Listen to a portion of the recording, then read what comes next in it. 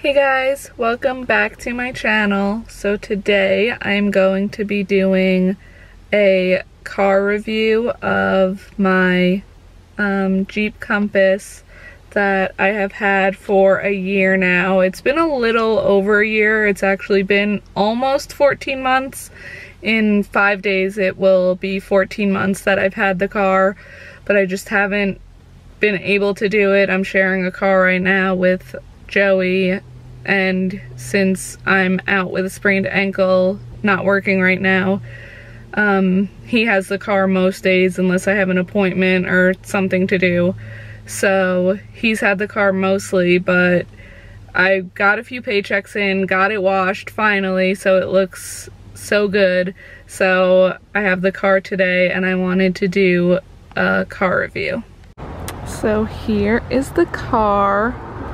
I'll show a full walk around in a minute, but I just want to show getting into the car just like this. Shut the door. So I'm not sure if I've mentioned it before, but this car is a lease. Um, so I'm just a super clean person anyway with like all of my cars. I like to have like barely anything in them just so they look really clean. But especially since it's a lease I want to make sure it's like extra clean and there's really not a whole lot in it. So down here this is sort of an area where you can keep like drinks and such like stuff like that. But I just have a couple of perfumes in there because um, my mom is a smoker. So anytime I leave the house before I get in the car, I like to just like give myself a couple of sprays of perfume. So right now, if you're curious, I have a Thousand Wishes, which is like one of my favorites from Bath and Body Works. And then I have, this one's almost empty, so that's why I put the other one in here.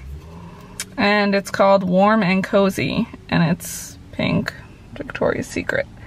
And it's vanilla and sunburst passion fruit. This one's really good. I used this one like all last fall and winter and spring, so it's almost empty.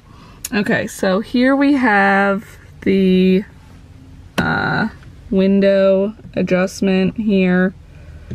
So we got that. Then we have the two front windows, the two back windows, the lock and unlock, and then not quite sure what that is. I really haven't ever pressed that. Then down here we have the light controls. So usually I just like flip it all the way to auto um, to turn the lights on. Then to turn the car on, it's um, keyless entry. So you just step on the brake, press this, and the car is now on. Which is really cool and kind of took like some getting used to. Like I felt like super high tech because I always had like an actual key to start the car. Then up here you've got like cruise control stuff and like settings, uh, Bluetooth to like call. So now we've got all this stuff. So like this stuff at the top, like where the date and like direction and um, the miles till empty type stuff. You could adjust that all in settings, like you could have it say like the day of the week and the time and, you know, pretty much whatever you want, but I like having the date because I never know like what the date is and what direction I'm going if I'm navigating somewhere and I just like that. And then obviously I want to know when I'm getting low, even though I have this right here, but I just like knowing the actual number. Um, and then in the middle, it's just like how many miles I've driven and how fast I'm going, and though that's also over there. Um, and I've only done 10,434 miles on the car, so I get 12,000 a year, so I haven't exceeded that. I think when it was a year, I had only done 9,000, so I'm doing pretty good on that. I'm like very anal about it just because like who wants to pay like more? I'd rather just like keep it under and now it's kind of like rolls over so if I end up doing like 14,000 miles in this next year which like I don't think I'm going to because I only did nine in the past year and I was kind of, in the winter I didn't really drive it so much because I don't like going out in the cold, but you know, in the summer I definitely drove it a lot and all of that. So I only did 9,000 in the first year, so that's really good. Um, so I'm really happy about that. So then here's the little, all these controls. So we got this one that controls the radio. So I have, I think it's a seven inch um, screen. So then this pops up when you first turn it on. Then you give it a minute, it pops up. So I had Sirius XM for the first year. Um, it was a free trial. And I didn't extend it once it ran out just because like more money that I really don't want to pay and my job isn't that far from my house so I just listen to the radio or I have like an aux cord and a USB so I could just plug in my phone. So I have, these are the radio stations I have set up and I have like 12 stations because that's how many you can have. And then also up here it has the time and the temperature. That's also another reason I don't have the time over here because it just pops up here automatically so I don't need like two places. So I added these in like pretty much right away. So I have the heated seat and the heated wheel just there for convenience so I don't have to go all the way over to climb it and like find it and everything. So yeah, I have that right there so that when it's cold I could just press those and I'm good. Then the radio, apps, phone, climate and setting. So this is just pretty much what I do. Um, I do plug in my phone a lot. Um, just because I like to listen to like, I have Spotify premium and yeah, I just like to listen to that. So if I'm going on like a long drive, I'll usually plug in my phone, but if I'm just going to like work or somewhere around the corner, then I'll just like leave the radio on. So then down here, we have our controls. So this will mute the radio. Your hazard lights, obviously, gotta have that. This turns the screen off which is like, I don't know why you'd want to do that. Maybe if you get like distracted, but I don't know. I never really have used that. Then you have, oh, I never use this either because I have preset stations, but if you turn this, it like changes the station. But I've never used that because, I don't know, I have like preset ones and it's just easier to like touch the screen and whatever or actually like on the back of the steering wheel. I don't even know if I could film this. Let's see. On the back of the wheel here, like if you touch this up or down, it like will change the station and that's super convenient. So I've always used that. And then on the, so that's on the back left side. And then on the back right side, there is the one for volume. So that's really good. Then down here, this car is super cool because it has um, the dual control, like air. So I'm always like freezing and Joey's always hot. So like, it's great because like I can have like the heat on on my side and he can have air on.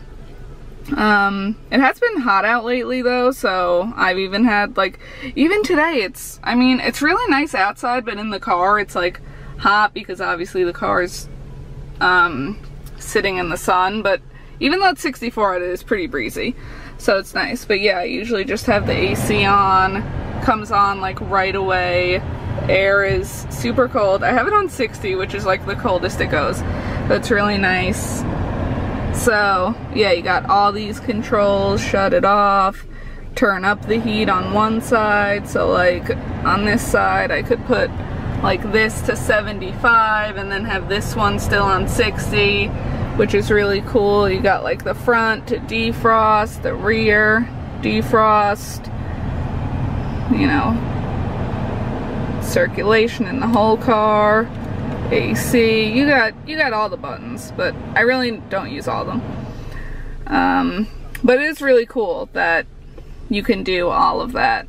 Obviously volume button.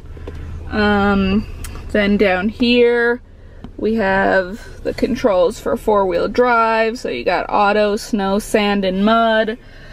Um, I really didn't use it that much last year because we really didn't get any major snowstorms. We had one, so I used it then. But other than that, I haven't used it. And I don't, I've haven't gone mudding in this car. I feel like that's more like a Wrangler thing. So I haven't done that, but then I have my USB and aux cord. I don't really use the aux cord because now like the iPhones like don't have this. They have like that connector, but I think mine's broken, which is some bullshit because I only used it like a few times. Then you got one of these. And then this is where I usually will like put my phone. Then you got, you know, your Prindle, but no L. Um, then this car has like, if you stop at like a red light or for an extended like period of time you're in traffic, the car will automatically shut off, which I don't really like. I'm like, oh, that's kind of cool, but like I never use it. So every time I get in the car, I just press this and it turns that off so that when you do stop, that doesn't happen. And then this is your traction control if you want to turn that off. And then obviously your emergency brake. Then we've got the little dual cup holder. I got my water in here right now. Then you have this guy, which all I have in here is a spare pair of sunglasses. It's not that big, as you can see. Like, it's honestly not huge. Um, which is kind of one thing that's like not my favorite about this car is like it doesn't have like that much storage. But I mean, my last car was like huge and it was like an undercover police car. So like this whole area right here was like a table and then it had like a huge thing like kind of here where it was cut out and I could put like my phone and like a book in there honestly. It was huge. So I don't know, I think I'm just used to having more space. So then passenger side, same deal. You could put like a water or something in there. Got this, which was probably empty when I did the original tour, but now it just has, you know, some lifesavers, bunch of napkins. Still has the uh, car manual, of course, little charger, because in the back I do have like a regular like outlet so I just have this just in case. So now I'll show you guys the back of the car. So now I'm in the back of the car which honestly I have to say I have never been in once except I think the last time when I did the um the first video of the car so super weird sitting back here but it's nice spacious I mean I have my seat up really far so I guess depending on like Joey puts his seat back more. But, I mean, this is super spacious. My knees are here. Back of the car seat's here. Has some little storage if you want to put something in there. Has the same cup storage down on the door. Um, has some air and heat control back here. Now you can't control it. Um, that's only in the front seat, but it does have that, so you can point it at yourself. And then another USB port down here. And then like I was saying, the regular outlet, so that's pretty cool. Then passenger seat, same type of deal, same cup holders. Then it actually has a pull-out cup holder, which I always love these, I don't know why, but it's cool because you can, you know, rest your elbow, Got some cup holders. This looks like it could probably fit like a phone or something. So I always really like that. So that's the back seat. Not too much going on back here. Then we've got the trunk, which honestly is pretty big. I don't really use it for that much. So it has enough storage for me. I do normally have like two fold out chairs and like a little bag in here, but I took them out so you could see the full trunk. And then down here, there is like extra storage, which I've put like all my, when I wash the car myself, like cleaning stuff in here. And then this is a bag of stuff from my old car that I still never went through. Mostly like CDs and stuff that I can't play now. And a little brush cleaner for winter. But yeah, it's a really nice size storage. And then it just has a little handle.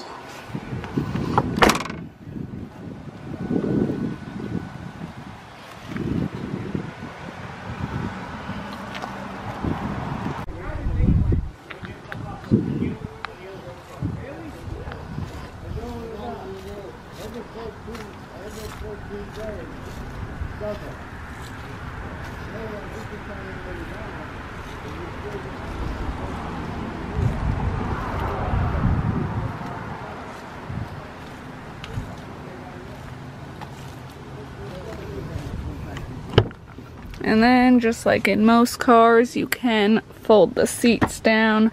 So you just grab this here and this one folds pretty much all the way flat. So that definitely gives you some extra storage. I did bring home a bike in this car. I bought a bike at Walmart and it it was hard to fit just because it was like bigger, but it did fit. Um, and then obviously that one also folds down. Just gotta pull the latch over there and then it will fold down quite easily. And then to bring it back up, you just pull it, wait till it snaps into place and it's good. So this car does sit five.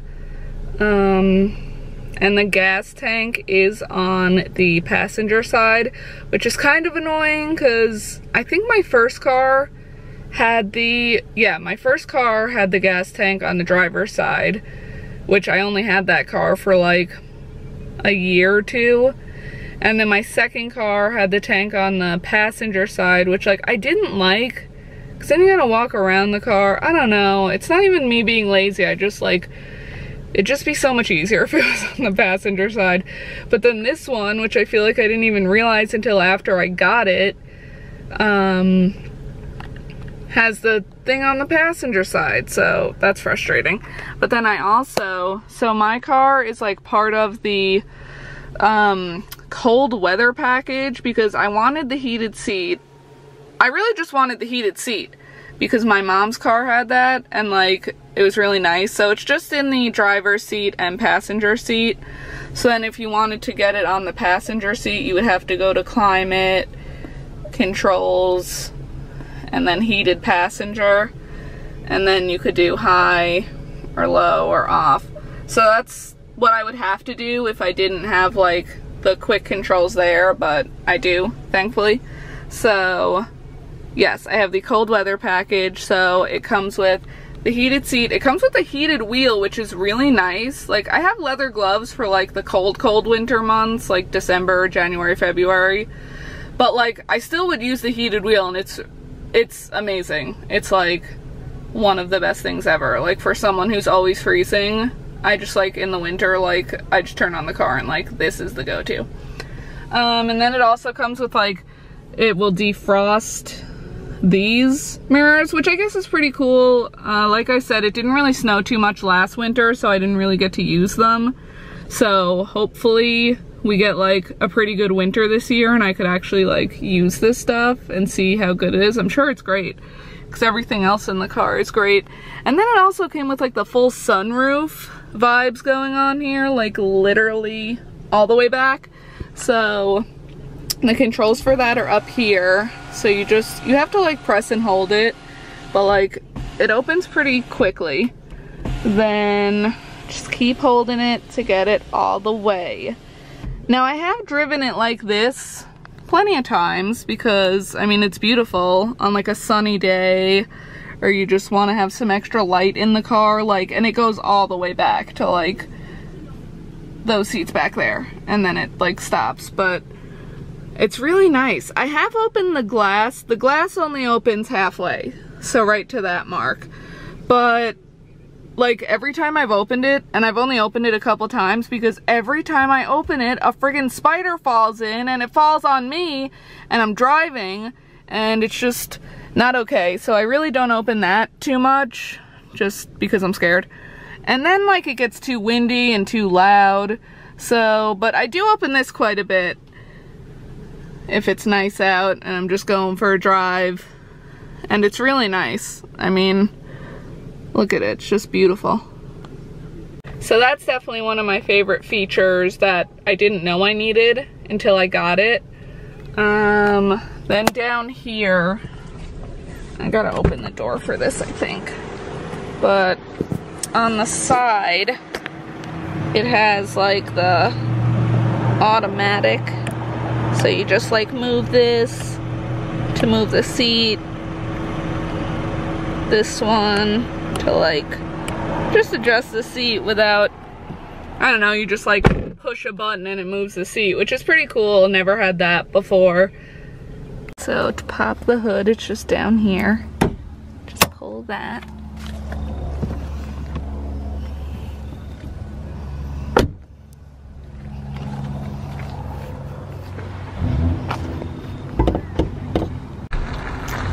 So this is under the hood the car, the engine, all that fun stuff.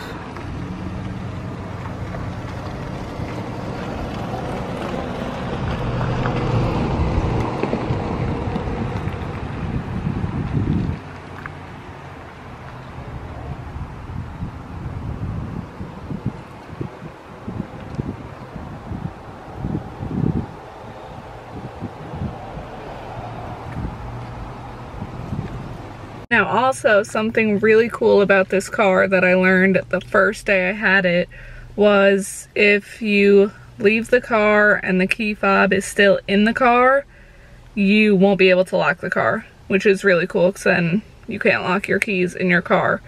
So if I get out of the car,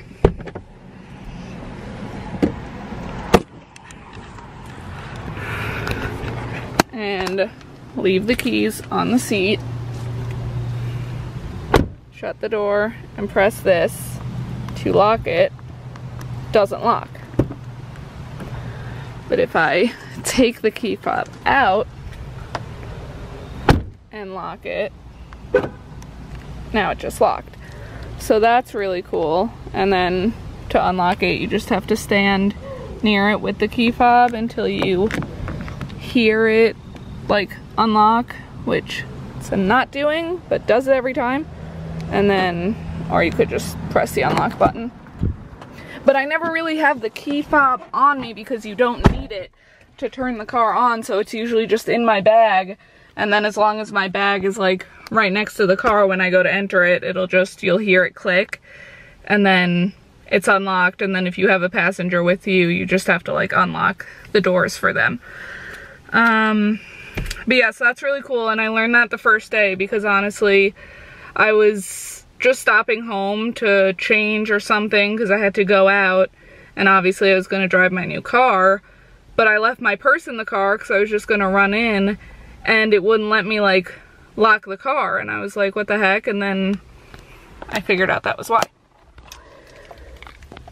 So key fob, really cool, panic button, lock, unlock, and then if you press this twice, it does have a remote start, which is also something I wanted because it gets cold here in the winter and that's just really nice to have. So when you come in your car, it's already warm. I think it does have a 10 minute um, like timer. So if you remote start it and then 10 minutes goes by, it will shut off, which has happened to me a couple times, but usually I'm pretty good about it. Like I know I'm gonna be leaving in the next few minutes, so I'll remote start it from my room and then just go out and it's already warm, which is honestly great.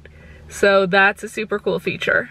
So overall, um, I love this car. It's honestly my favorite car.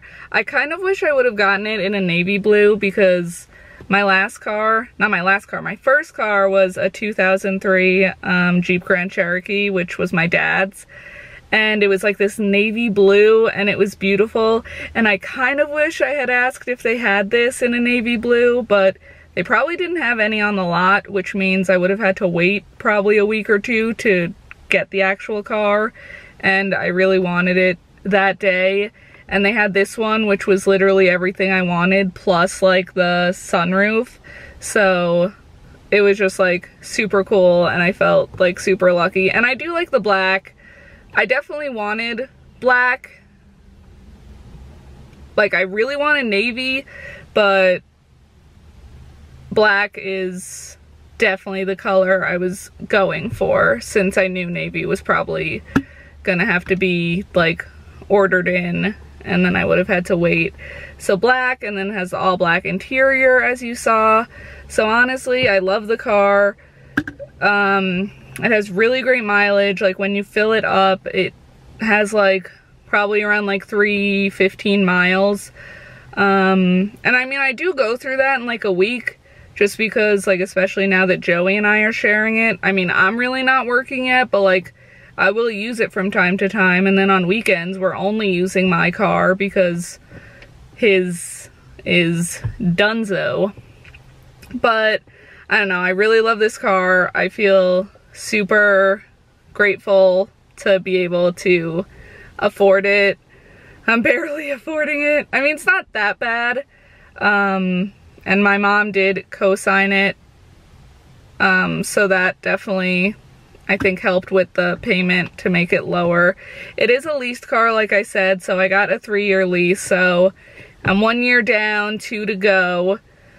And it's crazy. I think I am going to, like, buy it when the lease is up because I don't want to have to, like, do all this again with the lease, and I don't know. I'd rather just, like, finance it to buy.